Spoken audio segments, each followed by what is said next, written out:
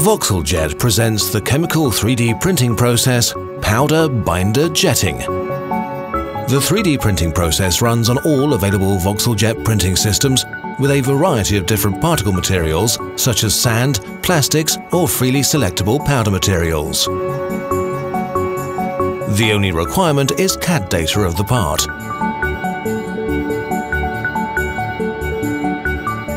The process starts with the application of the loose particle material to the building platform by a recoater.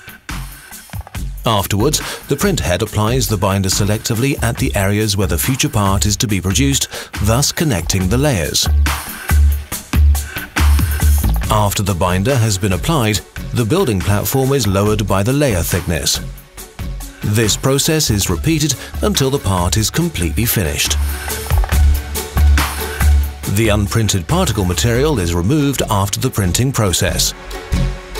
The models can be used directly for metal casting or as design and functional models without time-consuming post-processing.